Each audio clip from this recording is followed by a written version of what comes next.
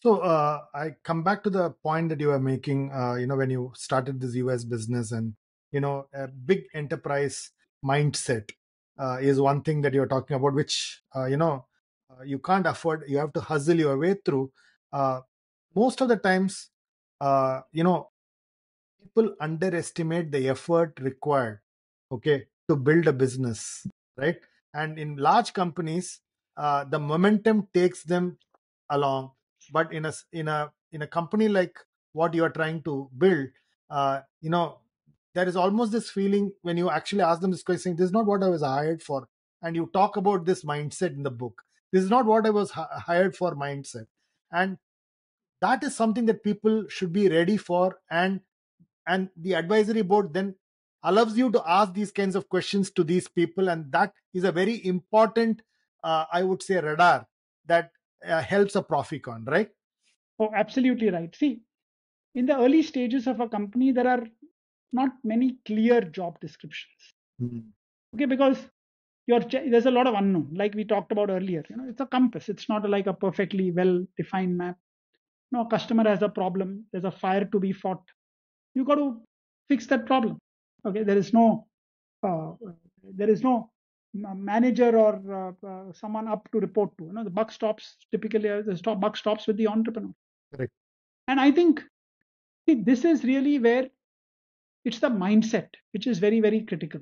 That I am not. Go- I am going out there. If I survive today, my odds of success improve. If I survive tomorrow, it's even better. Mm. It's not that, oh, I'm going to now work for the next two years. I'm going to sell this company for $20 million and live happily ever after. Because then the decisions that you're going to make are very different from the one that, look, I am in it for the long term. This is what I'm going to do for the rest of my life. That mindset, again, is very, very different from that exit oriented. Mm. And that's why I also say that the, for an entrepreneur, while the reaching the destination is one thing, the journey is very important. You have to be in it, and there are there are going to be more down days than up days. You know, you are going to come into work.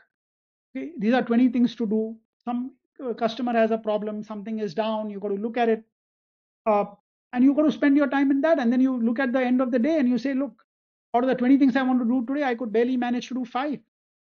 And you got to like this feeling. Mm. So that is how life is going to be in the early stages of an entrepreneur, of an entrepreneurial venture, till you are able to grow to a certain level. Brilliant. So you you have to, you know, uh, accept what you said earlier. Also, the uncertainty that goes with the terrain. Okay, the com- comfort with the compass. Okay, the mountains beyond mountains that are there. All of this is very important in building a business. And but what your what your what really drives you is the fact that I am going out and solving problems for my customers. Because that is the core of an entrepreneur. Entrepreneur is identifying a gap in the marketplace Mm. and saying that I'm going to solve that problem. And if I solve that problem for enough people, I will get revenues. And if I keep my cost low, that's how I get profits. So- Exit is not the driver. That has to be removed from the equation.